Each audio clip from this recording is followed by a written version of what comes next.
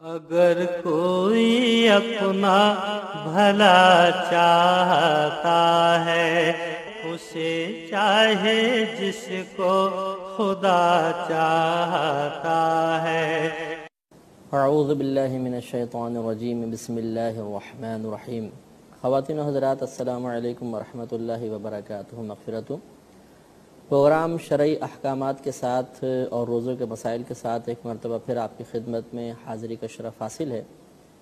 पिछले प्रोग्राम में हमने रोज़े की नीयत और उसकी फ़जीलत व अहमियत के बारे में चंद बातें अर्ज़ की थी। आज इन ताला सहरी के फ़ज़ाइल, सहरी की अहमियत, फिर इफ्तार के बारे में चंद मसाइल और फिर इन ताला रोज़ा किन चीज़ों से टूटता है और किन चीज़ों से रोज़े पे कोई फ़र्क नहीं पड़ता, लेकिन अवामी समझती है कि इनसे रोज़ा टूट गया। इसके अलावा बाज़ चीज़ें ऐसी होती हैं जो मकरूहात रोज़ा कहलाती हैं। यानी उन चीज़ों की वजह से रोज़ा टूटता तो नहीं है, लेकिन रोज़े की नूरानियत में कमी आ जाती है। तो सहरी के बारे में इन हम पहले कलाम करते हैं कि सहरी खाना ये सुन्नत रसूल सल्लल्लाहु अलैहि वसल्लम है। रोज़े के लिए शर्त नहीं है। चुनाचे बाज़ हजरात बाज़ात ऐसा होता है कि रात में नहीं उठ पाते तो सुबह उठ के बड़े परेशान होते हैं और सवाल करते हैं कि जी, हमने तो आज सहरी की नहीं है तो क्या हमारा रोज़ा शुरू हो गया या नहीं हुआ?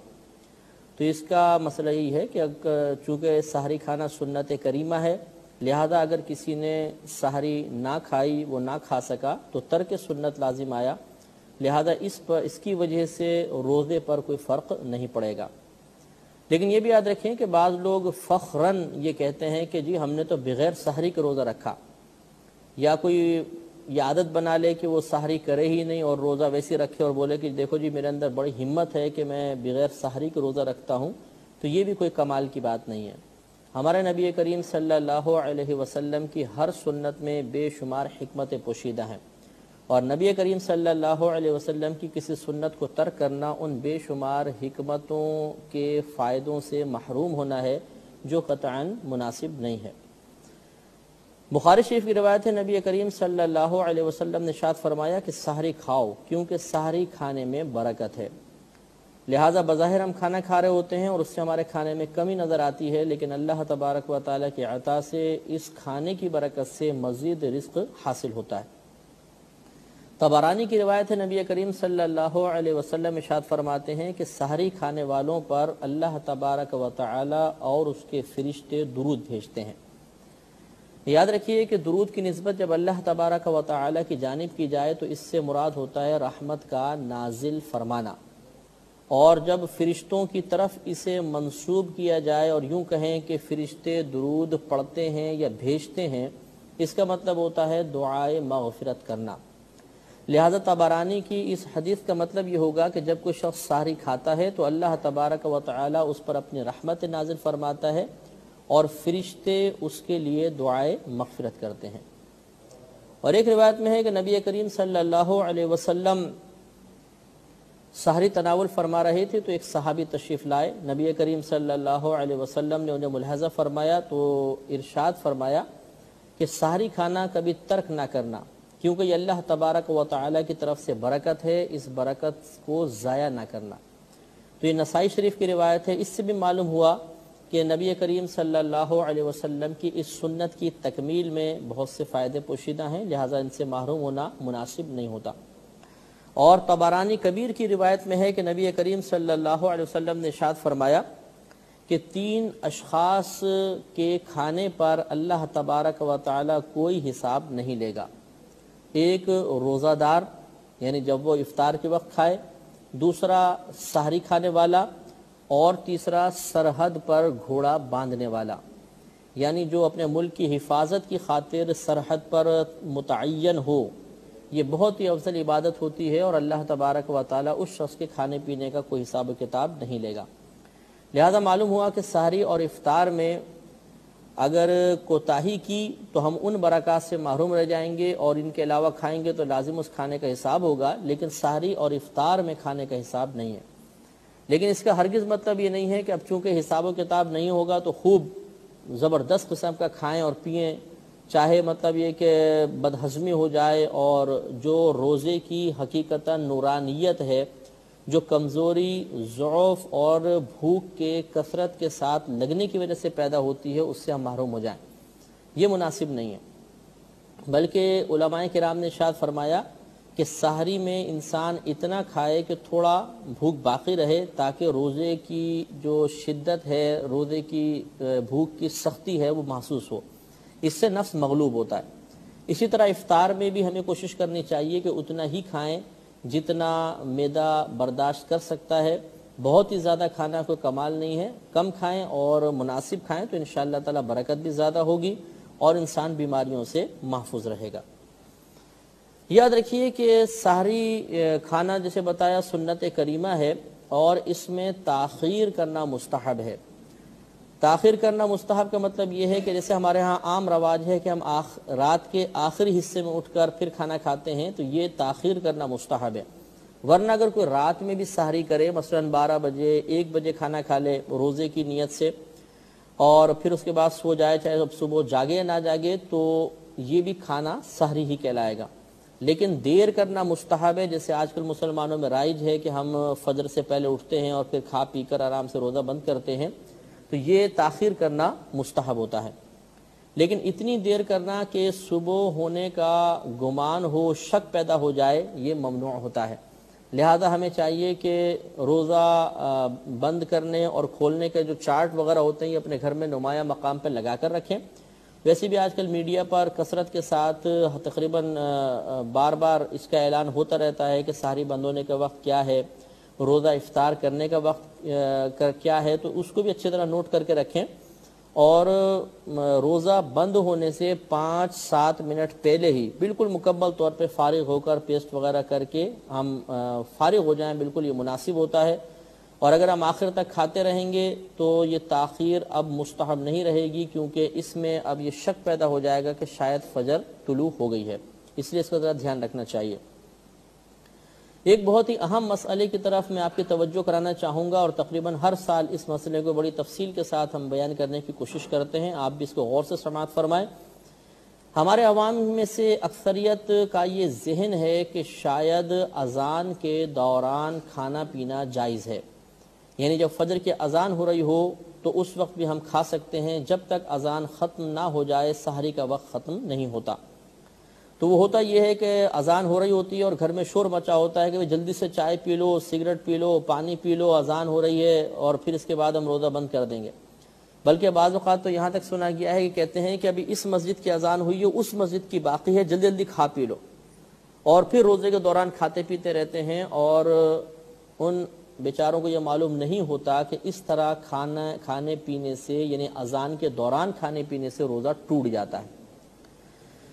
अब शायद आप भी हैरान होंगे कि इससे रोज़ा कैसे टूट जाता है, हम तो ऐसे ही करते चले आए हैं तो मैं आपको समझाता हूँ। देखें, मसला ये होता है कि साहरी का वक्त, आखिरी वक्त जो है, वो फजर शुरू होने से पहले पहले तक होता है। जैसे ही फजर का वक्त शुरू होगा, सहरी का वक्त ख़त्म हो जाएगा। ये एक मसला याद रखें। दूसरी बात ये कि फजर की अजान हो या कोई भी अजान हो, जब वक्त शुरू हो जाएगा, उसके बाद ही दी जा सकती है, उससे पहले नहीं। मसलन अगर आप फजर की अजान देना चाहते हैं तो फजर का वक्त शुरू होने का इंतज़ार करेंगे। अगर फजर के वक्त से पहले अजान दी तो ये अजान नहीं होगी। लिहाजा मालूम हुआ कि जब अजान दी जा रही होती है, उस वक्त फजर का वक्त शुरू हो चुका होता है। और जब फजर का वक्त शुरू होता है तो सहरी का वक्त ख़त्म हो चुका होता है। लिहाजा अगर किसी ने अजान के दौरान खाया तो गोया उसने सहरी बंद होने के बाद खाया, फजर के वक्त में खाया, और जिसने सहरी बंद होने के बाद खाया, उसका रोज़ा टूट गया। तो ये एक आम सी बात है, आसान सी बात है, कोई मुश्किल मसला नहीं है कि जब अजान हो रही होती है तो अजान सारी बंद होने के बाद ही होती है और सारी बंद होने के बाद खाना पीना हराम होता है क्योंकि रोज़ा शुरू हो जाता है। अब अगर हम अजान के दौरान खाएँगे तो गोया हमने रोज़े के दौरान खाया और रोज़े के दौरान जो खाएगा, पिएगा, उसका रोज़ा नहीं होगा। अब यहाँ पर बाज भाई भूलपन से ये कह देते हैं, जी, हमें तो मसला पहले मालूम ही नहीं था, अल्लाह ताला मुआफ़ करेगा। तो अच्छी तरह याद रखें कि अल्लाह तबारक व ताली ने कुरान अजीम में शाद फरमाया कि फ़स अहल ज़िक्री इनकुन तुम ला तमून कि अगर तुम नहीं जानते तो अहल इल्म से सवाल करो। लिहाजा और नबी करीम सल्लल्लाहु अलैहि वसल्लम का फरमान भी मुस्लिम शरीफ की रिवायत है कि तलबुल इल्म फ़रीदतुन अला कुल्ली मुस्लिम, कि इल्म का हासिल करना हर मुसलमान, आकिल, बालिग, मर्द और औरत पर फ़र्ज़ है। लिहाजा इल्म सीखना हम पर फ़र्ज़ था पाकिस्तान या हिंदुस्तान भी बल्कि दारुल इस्लाम है और दारुल इस्लाम में कम इल्मी, ला इल्मी उज़र नहीं होती। यानी अल्लाह ताला की बारगाह में जाके हम ये नहीं कह सकते हैं कि यार रब करीम, चूँकि हमें मसला मालूम नहीं था, इसलिए हमारा रोज़ा टूट गया तो मुआफ़ फरमा दे। अल्लाह तबारक व ताली की तरफ़ से हो सकता है कि फिर ये कहा जाए जवाब में कि जब हमने कहा था कुरान अजीम में मौजूद था कि तुम अहल इल्म से सवाल करो तो तुमने इल्म क्यों नहीं सीखा? लिहाजा नाराज़ होने के बजाय शर्य मसले को रद्द करने के बजाय, गुस्से में मुबतला होने के बजाय, और शरीयत पर तंज या इफ्तरा या मतलब उसके ख़िलाफ़ बोलने के बजाय हमें चाहिए कि संजीदगी के साथ, ठंडे दिल के साथ सही मसले को कबूल करें। आज से पहले जितने रोज़े इस तरह हमने बंद किए थे कि अजान के दौरान खाते पीते रहे थे, वो रोज़े नहीं हुए, उनकी कज़ा करने की कोशिश करें। लेकिन जैसे कि हम आगे पूरी तफसील के साथ बताएँगे कि अगर किसी ने अजान के दौरान खाते, पीते, रोज़ा तोड़ दिया तो इस पर सिर्फ़ कज़ा होती है, कफ़ारा नहीं होता। लिहाजा आप याद करें, जितनी सबका ज़िंदगी में ऐसे रोज़े हैं, उनका एक हिसाब कर लीजिए और फिर आइंदा ज़िंदगी में इस रमज़ान के गुजरने के बाद फिर आप आहिस्ता आहिस्ता हफ़्ते में एक या दो या महीने में चार, पाँच रोज़े इस तरह करके उन तमाम रोज़ों की क़ज़ा अदा फरमाएँ। तो खुलास कलाम यह है कि रोज़ा बंद होने का दारो मदार अजान पर नहीं होता, रोज़ा बंद होने का दारो मदार उस वक्त पर है, जिस वक्त, जो वक्त हमें बता रहा है कि अब सारी ख़त्म हो गई है। लिहाजा अपने घर में किसी मुस्तनद इदारे का दारूम का आप नक्शा रखें, जिसमें टाइमिंग्स वगैरह लिखी हों, और जैसे ही फजर का वक्त शुरू हो, यानी जैसे मिसाल के तौर पर पाँच बजकर पच्चीस मिनट बिल फ़र्ज़, ये वक्त अगर है तो आप उससे पहले पाँच सात मिनट पहले कुल्ली वगैरह करके फारिग हो जाएँ। और अगर बिल फ़र्ज़ आपकी देर से आँख खुली है, सारी का वक्त बहुत मुख्तसर सा बाकी है, तब भी आपको ये एहतियात ज़रूर करनी होगी कि उस सारी के ख़त्म होने के वक्त से पहले पहले कुल्ली वगैरह करके फारिग हो जाए। अब हम इफ्तार के बारे में चंद कलाम करेंगे। इफ्तार के बारे में एक बात तो याद रखिए कि इफ्तार करना भी सुन्नत करीमा है और इफ्तार का ताल्लुक भी अजान के साथ नहीं है। हम बसा अवकात खजूर हाथ में लेके बैठे रहते हैं और मुअज्जिन का इंतज़ार करते हैं। जब वो अजान देता है, उसके बाद इफ्तार करते हैं और उससे पहले अगर कोई इफ्तार करने लगे तो हम उसको रोकते हैं। तो याद रखें कि इफ्तार का ताल्लुक भी वक्त के साथ है। वही चार्ट आप घर में रखें या जैसे टीवी वगैरह पे बताया जाता है उस वक्त को आप महरूज रख रहे हैं। रेडियो वगैरह आपके पास है, रेडियो में बताया जा रहा है तो वो जो वक्त वो बताएँ, उस वक्त के मुताबिक अगर वो वक्त हो गया है तो अब आपके लिए इफ्तार करना जायज़ है। अजान का इंतज़ार करना ज़रूरी नहीं होता। ना नबी करीम सल्लल्लाहु अलैहि वसल्लम की जानब से अजान के इंतज़ार का हुक्म है, बल्कि वक्त हो जाने का इरशाद है कि जब वक्त हो जाए तो तुम इफ्तार कर लो, लिहाजा फिर हमें इफ्तार कर लेना चाहिए। यह भी याद रखें कि इफ्तार में जल्दी करना अफजल है। यानी जैसे ही मगरिब का वक्त हो तो फ़ौरन हमें इफ्तार कर लेना चाहिए, देर नहीं करनी चाहिए। अगर देर करेंगे तो तर्क मुस्तहब लाजिम आएगा और इससे सवाब में कमी होगी। नबी करीम सल्लल्लाहु अलैहि वसल्लम की रिवायत है, बुखारी शरीफ की हदीस है, सरकार ने शायद फरमाया, लोग उस वक्त तक भलाई पर रहेंगे, जब तक वो इफ्तार में जल्दी करते रहेंगे। और तिरमिद शरीफ की रिवायत है कि अल्लाह तबारक व ताली ने इशाद फरमाया कि मेरे बंदों में से जो बंदा इफ्तार में जल्दी करता है, वो मुझे महबूब है। इससे मालूम हुआ कि इफ्तार में ताखिर नहीं करनी चाहिए, बल्कि जैसे ही वक्त शुरू हो, फ़ौरन से पेशतर हमें इफ्तार कर लेना चाहिए। अब इफ्तार किस चीज़ से करना चाहिए इसके बारे में मुख्तलिफ़ रवायात हैं और हमारे नबी करीम सल्लल्लाहु अलैहि वसल्लम से मुख्तलिफ़ चीज़ें मनकूल हैं।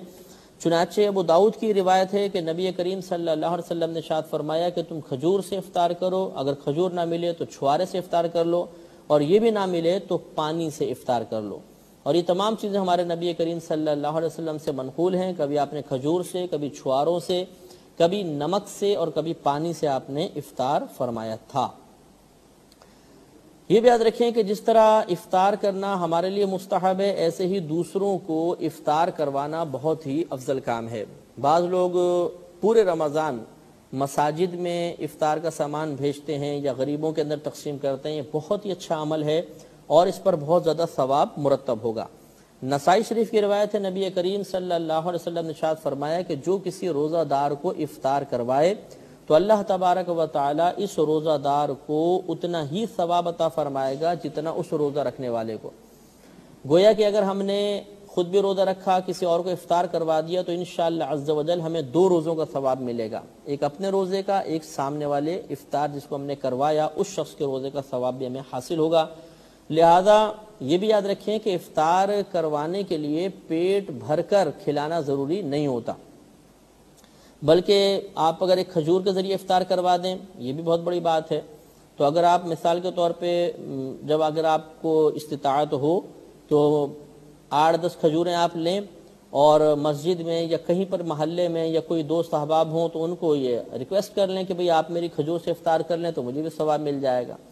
तो गालिबा कोई भी आपकी खजूर को वापस नहीं करेगा तो आठ, दस अफराद को अगर हमने खजूर दी, उन्होंने हमारी खजूर से इफ्तार किया तो इन हमें आठ, दस रोज़ों का सवाब हासिल हो जाएगा।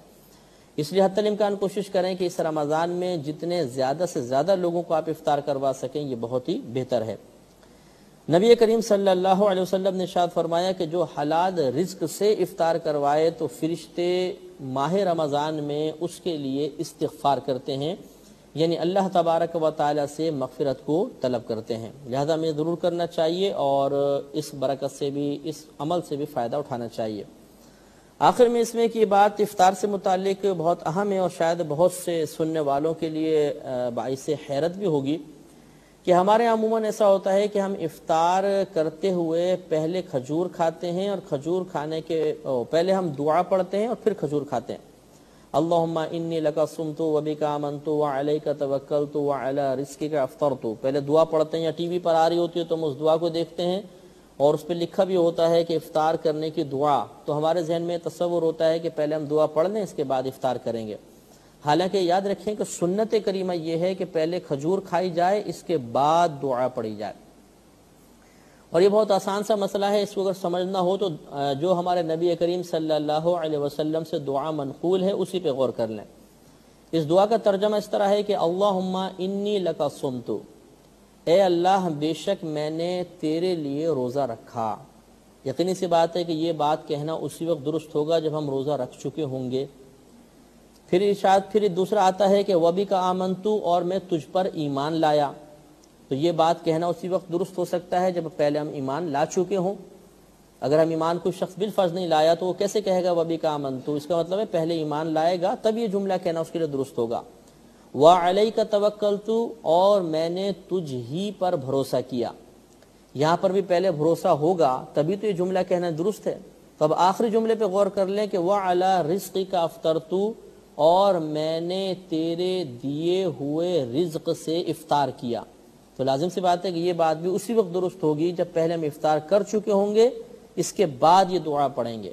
तो इसलिए मालूम यह हुआ कि पहले हमें खजूर वगैरह खानी चाहिए, इसके बाद दुआ पढ़नी चाहिए। यही नबी करीम सल्लल्लाहु अलैहि वसल्लम का तरीका है और इसी तरीके से हमें इफ्तार करना भी चाहिए।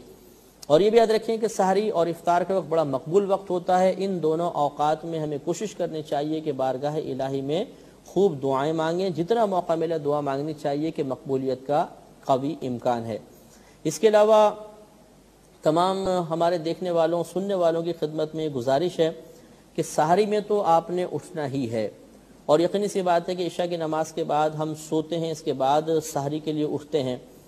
तो आपने एक लफ्ज़ सुना होगा, नमाज़ तहजद का। तहजद की तारीफ़ ये होती है कि इंसान ईशा के फ़राइज़ पढ़ने के बाद या ईशा की पूरी नमाज़ पढ़ने के बाद अगर थोड़ी देर सो जाए तो जब सो के वो उठेगा, अब उठने के बाद जो रात के नवाफिल पड़ेगा उन्हें तहजद कहा जाता है। तो इससे मालूम हुआ कि तहजद के लिए ईशा के बाद सोना शर्त है। अब इसके बाद जब भी आप उठेंगे तहजद होगी। तो सहरी में तो हमने उठना ही होता है, अगर हम ये आदत बना लें कि दो रकत नमाज़ फ़ौर नफल पढ़ लिया करें तहजद अदा कर लिया करें तो इन ताला हमें रोज़ाना कम अज़ कम रमज़ान की रातों में तहजद पढ़ने का सवाब हासिल हो जाएगा। और अगर ऐसे कोई हमारे भाई और बहन हैं जिन पर पिछली ज़िंदगी की कज़ा नमाजें बाकी हैं, उनके लिए हमारा मशवरा ये है कि फिर वो कोशिश ये करें कि जब जागें तो अपनी सबका ज़िंदगी की कोई भी कज़ा नमाज़ अदा कर लें। जहर हो, असर हो, मगरब या इशा या फजर, जितना वक्त मौजूद है उतने वक्त के अंदर कोशिश करके कुछ ना कुछ कज़ा नमाज़ ज़रूर अदा करें। अगर हम पर कज़ा बाकी हो तो फिर नवाफिल में मशगूल होना मुनासिब नहीं होता, फिर आप कज़ा नमाज़ अदा करें। और अगर अल्लाह ताला के फजल करम से आप पाबंदी से नमाज़ पढ़ते हैं और कोई कज़ा नमाज़ आप पर बाकी नहीं है तो फिर नवाफिल पढ़ने में हरज नहीं। ज़रूर नवाफिल पढ़े जाएँ कि ये मौका ज़िंदगी में बार बार नहीं आता, रमज़ान की मुबारक रातें हैं। और हो सकता है कि हम इसी तरीके से अगर तहजद पढ़ते रहें तो फिर रमज़ान के बाद भी आदत पुख्ता रहे। अल्लाह ताला अमल की तोफ़ी फरमाए। अब इन ताला हम आपकी खिदमत में रोज़ा तोड़ देने वाली चीज़ों के बारे में चंद बातें अर्ज़ करेंगे। याद रखिए कि जैसे आपको पहले बताया था कि अल्लाह तबारक व ताली ने कुरान अजीम में शाद फरमाया, या आमनु, कुतिबा अलकुमस्याम कमा कुतिबा अलदीन मिन कबलिकुम लकुम तत्तकून कि तुम पर इसी तरह रोज़े फ़र्ज़ किए गए हैं जैसे पिछली कौमों पर रोज़े फ़र्ज़ किए गए थे, ताकि तुम परहेजगार हो जाओ।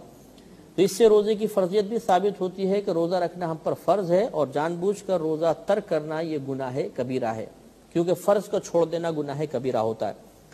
ये बाज लोग सवाल करते हैं कि क्या बच्चों को भी रोज़ा रखवाना चाहिए या नहीं? तो याद रखें कि अगर बच्चा सात साल का या सात साल से कम उम्र का है और रोज़ा रखने की हिम्मत रखता है तो उसको मना ना करें, वो रोज़ा रख सकता है। हाँ अगर सात साल का बच्चा हो जाए तो फिर उसे सख्ती के साथ रोज़े की तलकीन करनी चाहिए। और अगर बच्चा दस बरस का हो चुका हो तो फिर उसको मार कर रोज़ा रखवाना चाहिए। फ़ुकाहा ने इसको क़यास किया है नमाज़ पर कि नबी करीम सल्लल्लाहु अलैहि वसल्लम ने शाद फरमाया कि जब बच्चा सात बरस का हो जाए तो उसे नमाज़ का हुक्म दो और जब दस बरस का हो जाए तो मार कर नमाज़ पढ़ाओ। लिहाजा अगर बच्चा दस बरस का है और रोज़ा रखने की हिम्मत रखता है तो फिर हमें उसको फोर्स करना चाहिए ताकि वो रोज़ा रखने का आदि हो जाए। और बलूगत से पहले पहले वो अल्लाह तबारक व ताली की इबादत पर इस्तकामत हासिल कर ले। इसलिए बच्चे को हो सके तो सख्ती के साथ और हो सके तो मार कर भी रोज़ा रखवाना चाहिए। अब याद रखें कि रोज़ा तोड़ने वाली चंद मखसूस चीज़ें होती हैं और चंद उसूल होते हैं, इनको हमें पेश नज़र रखना चाहिए। तो इन ताला हमें रोज़ा तोड़ने वाली तमाम चीज़ों के मसाइल अच्छी तरह जहन में हमारे रासिक हो जाएँगे, मुस्तहज़र हो जाएँगे, और फिर कभी भी कोई मसला हमें दरपेश होगा तो इन आसानी के साथ हम ये जान सकेंगे कि हमारा रोज़ा टूटा है या नहीं। इसमें याद रखें कि एक बात तो ये कि जब तक रोज़ा टूटने वाला या तोड़ने वाला कोई अमल नहीं किया जाएगा, उस वक्त तक रोज़ा नहीं टूटेगा। लिहाजा अगर किसी ने रोज़ा रख लिया, फिर दिन में पुख्ता इरादा किया कि मैं रोज़ा तोड़ता हूँ लेकिन तोड़ने वाला कोई अमल नहीं किया तो उसको रोज़ा नहीं टूटेगा। यानी फ़कत दिल के पुख्ता इरादे से रोज़ा नहीं टूटा करता, नीयत से नहीं टूटता, बल्कि हमें कोई ऐसा अमल करना होगा जिससे रोज़ा टूट जाए तो टूटेगा। तो खुदा न खास्ता कहने का मकसद ये नहीं कि हम कोई अमल करें, बल्कि अगर कोई करेगा, कहना मकसूद ये है कि करेगा तो रोज़ा टूटेगा, वरना रोज़ा नहीं जाएगा। रोज़ा टूटने के इसबाब पे अगर आप गौर तफक्र करें तो तीन चीज़ें हमारे सामने आती हैं जिनसे रोज़ा टूट जाता है। और ये तीनों उसूल की हैसियत रखती हैं। एक बात तो ये कि जिस्म के सुराखों में से कोई चीज़ बदन के अंदर दाखिल होगी तो उससे रोज़ा टूट जाएगा। जिस्म के सुराखों में से। मिसाल के तौर पर जैसे नाक है, ये नथने, नाक के अंदर ये पूरा रूट है जो हमारे हलक तक पहुँचता है। इसी तरह हमारा मुँह है, इसमें पूरा रूट होता है। इसी तरह आँख और हल्क के दरमियान मुकम्मल एक रास्ता, एक पैसेज है, एक रूट है, जिससे आँख में कुछ चीज़ डालेंगे तो हमारे हलक तक पहुँच जाएगी। हाँ लेकिन कान के दोनों सुराखों में और हल्क के दरमियान को रूट नहीं होता। याद रखिए कि सबका फ़ुकाहा इज़ाम ने यही फतवा लिखा हुआ है और कि कुतुब में, आप कुतुब फ़िक में मसला देखेंगे कि कान में दवा डाली तो रोज़ा टूट जाएगा, आँख में डाली तो नहीं टूटेगा। ये फ़ुकाह कराम का क़यास था। उन्होंने, चूँकि उस ज़माने में मेडिकल साइंस ने इतनी तरक्की नहीं की थी, लिहाजा फ़ुकाहा ने गौर करके कि अगर कान में पानी डालें, तेल डालेंगे तो ये हलक तक पहुँच जाएगा और आँख में दवा डाली तो ये नहीं पहुँचेगी। इसके ऊपर, यानी गालिब गुमान करके उन्होंने यही लिखा कि चूँकि आँख और गले के हल्क के दरमियान कोई रास्ता नहीं होता, लिहाजा इससे रोदा नहीं जाएगा। हाँ कान और हल्क के दरमियान रूट होता है बाकायदा तो कान में दवा डालेंगे तो टूट जाएगा। लेकिन उनका ये जो मतलब फतवा था, ये जन्न गालिब पर था। उन्होंने गालिब गुमान किया कि शायद कान और हल्के दरमियान रूट होगा, आँख और हल के दरमियान नहीं होगा। लेकिन जैसे जैसे तरक्की होती रही तो जदीद मेडिकल साइंस ने साबित कर दिया कि आँख और हल के दरमियान रूट होता है, कान और हल के दरमियान नहीं है। लिहाजा फतवा बदल गया। कान में दवा डालेंगे तो रोजा नहीं जाएगा, आँख में दवाई डालेंगे तो रोजा टूट जाएगा। हाँ अगर किसी के कान का पर्दा फटा हुआ है तो फिर बाकायदा एक रूट बन जाएगा और फिर दवा डालने से रोजा टूट जाएगा। इन ताला रोजा तोड़ने से मुतालिक बकिया मसाइल अगर ज़िंदगी रही तो अगले प्रोग्राम में आपकी खिदमत में भी तफसील अर्ज़ किए जाएँगे। अब आपकी खिदमत हम आपसे इजाज़त तलब करते हैं और इन अगले प्रोग्राम में दोबारा मुलाकात की उम्मीद रखते हैं। वह आखिर दावाना अनिलहमदिल्ला रबालमी